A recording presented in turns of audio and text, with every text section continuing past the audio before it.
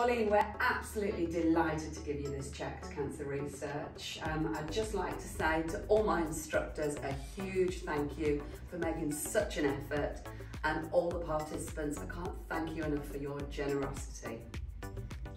Well, on behalf of Cancer Research UK, I'd like to thank you all for your amazing fundraising effort.